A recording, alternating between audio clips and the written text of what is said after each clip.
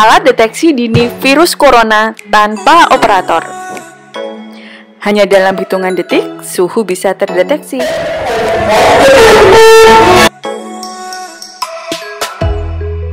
Sehingga tidak terjadi seperti ini.